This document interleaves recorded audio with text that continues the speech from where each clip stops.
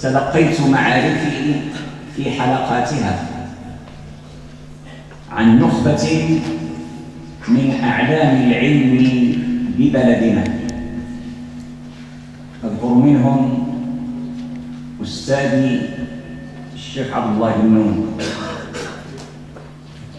الذي أخذت عنه من الفوائد الحديثية ما فتح أمامي المجال. لدراسة مختلف شروح البخاري. والشيخ الأستاذ أحمد بن تاويز الذي فتح عيني على الكثير من مبهمات التفسير.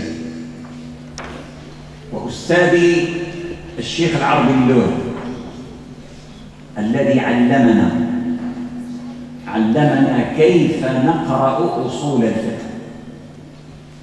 أما عميدنا الشيخ سيد الثاني الوزاني فهو الأب والصديق والموجه لدراسة علم الاجتماع دراسة تنفع صاحبها في حياته.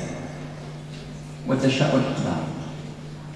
تشاء الأقدار أن أعود إلى كليتي بعد ستة أعوام.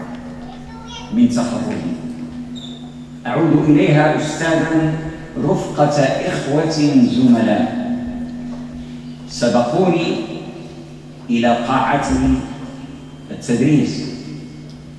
أذكر منهم أستاذ عبد الغفور الناصر والأستاذ سيد عبد الله السماحي وخاي أحمد الخطابي إلى آخرين.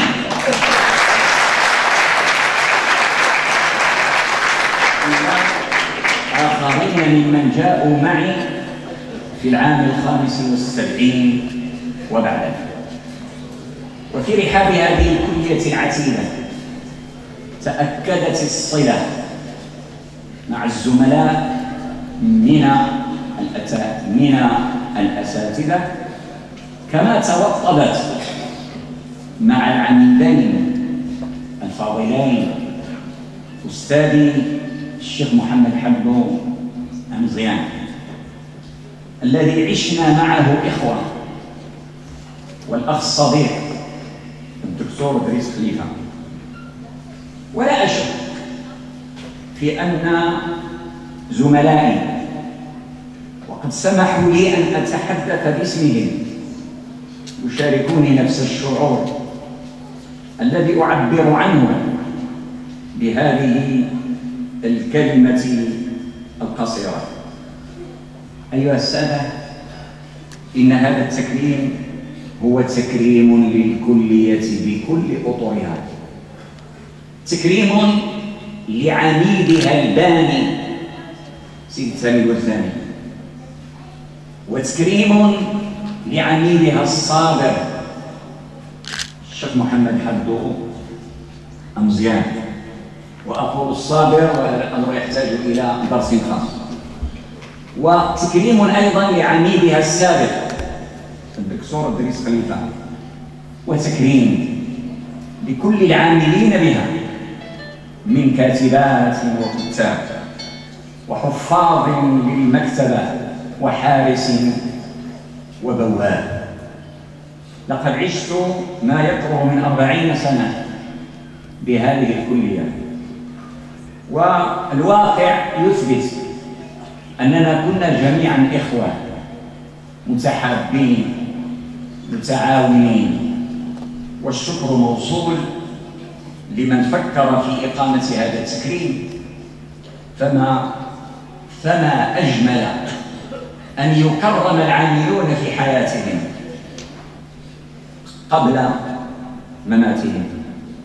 وإذا كان الموت قد غيب الكثيرين ممن عملوا في رحاب هذه الكلية فإن الواجب يحتم علينا أن نردد قول ربنا ربنا اغفر لنا ولإخواننا الذين سبقونا بالإيمان ولا تجعل في قلوبنا غلا للذين آمنوا صدق الله العظيم. السلام عليكم ورحمة الله